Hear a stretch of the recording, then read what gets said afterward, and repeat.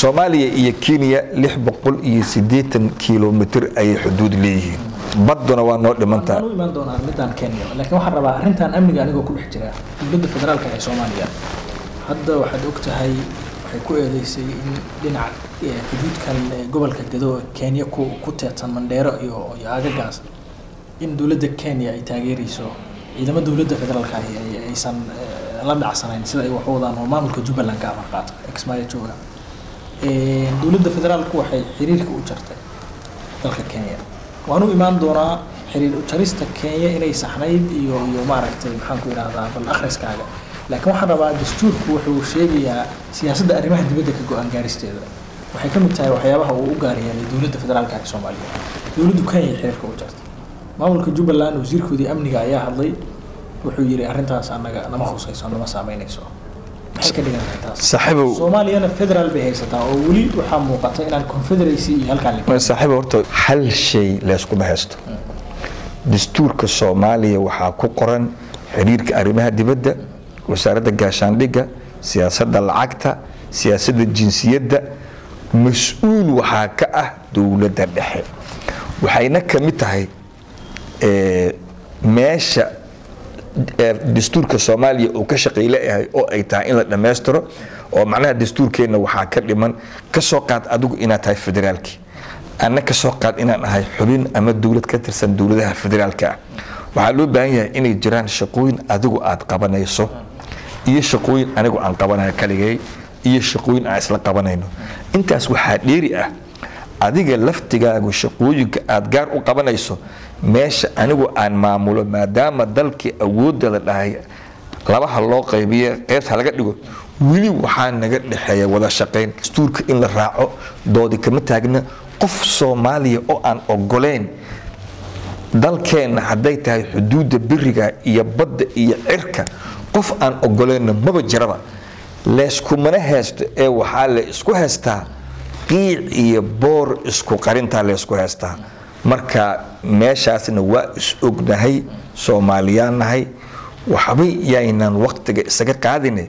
Meeshaas waa meel uu madaxweynuhu uu rabo inuu ka sameeyo business siyaasadeed kaasoo ah dadka soomaaliyeed indhahooda inuu inta dhibaatada gudaha arrimaha aan kuu sheegaya madaxweynuhu wuxuuna ku guulaysan inuu dastuurkii dhammaystiro. Madaxweynuhu wuxuuna ku guulaysan inuu dhiso ciidamo qaran. Madaxweynuhu wuxuuna ku guulaysan inuu dhiso federaalkii. Madaxweynuhu wuxuuna ku guulaysan inuu qabto doorasho qof iyo cod ah. Waa kuwa waa kuwa ay soo jeediyeen hay'adda heritage. Aniga ma aha. Marka dadku si ayna su'aalaas isu weydiin ayuu madaxweynuhu dhibaato kale oo gees ah oo asiga u abuuray. Macnaha wuxuu rabaa inuu dadka indhahooda inta xaqiiqada ka jeediyo xagga u jeediyo iyo daqiiqad madaxweynuhu wuxuu rabaa inuu gashado shaatiga wadaniyadda. Alla dalkeenna lagu soo duulay alla kenya nagu soo duushay alla soo kaca dadka soomaaliyeedna meeshaas ayada ah waa u jilcan yihiin dalkooday jecel yihiin dowladooday jecel yihiin. Marka madaxweynuhu wuxuu rabaa inuu saas inta uga caana maalo dadka quluubtooda intuu xado oo ka sameeyo business siyaasadeed. Laakiin arinku sidaas ma aha. Xuduudda soomaaliya iyo kenya oo lix boqol iyo siddeetan kilomitr shan kilomitr ama saddex kilomitr oo la waardiinayo ilaan kugu dhaariyay maxay tahay? Marka arrinkaasi wax ka jira ma jiraan qof diidaana ma jiro waxaa kuu haray kaleto horey waxaan uga sheegay t v-ga aniga oo macallinkii jaamacadda ah. Haddii kenya ay dalkeenna si loo jeedo oo gardarro ah ugu soo xadgudubto inaan aad ka qaatoon dagaalamaan diyaaro ah waxaase ku sheegaa laakiin ciidama kenya soo galaa la dhahay soomaaliya etoobiya waa soo gashay. Waxaa la dhahay ciidama kenya soomaaliya soo galoo dad ku dili. Etoobiya waa soo gashay dadii dishay. Laakiin haddee qola hadday khalad samaysay maya maya miyuu beri yeerayaa maya maya saas ma maya saas ma aha. Ee waxay tahay waay ayaan u dhahaynaa qoladan. Ayaa dalkii soo gashay oo dadkii dilay oo aanu u dhahayn kuwan ayaa dalka soo galay oo dadkii dilay. Waxaa kaloo la ogyahay waxaa marka hore la iibi jiray markii madaxweyne farmaajo la dooranayay waxaa la iibi jiray etoobiya waa cadowgeenna etoobiyaana xukunta alla dalka ka soo dhiga. Hadda waxaa la rabaa in loo bedelo yani markaas doorashadoo joogta madaxweynaha waxaa ku qoran youtubeyada waxaa ku jira madaxweynaha oo jooga nairobi oo dadka la hadlaya oo dhahay nairobi aan joogaa safaaradaha inaan qaabilo oon arrimaha soomaaliya u sharaxo aan u jooga asoo dhahaya waxay ku jiraan youtube-ka. Markaas macnaha dowladda kenya saaxiib la ahay. Dad waxaa jira mucaarad ahay oo madax- madaxweynaha mucaarad ku ahay oo kenya tegey oo inay hadlaan loo diiday. Madaxweynaha markaas asiga iyo waxaa kaloo ku jira ku jira youtube ku jira. Asagoo dhahaya my brother uhuru asoo dhahaya ayaa ku jiray. Marka daqiiqad marka.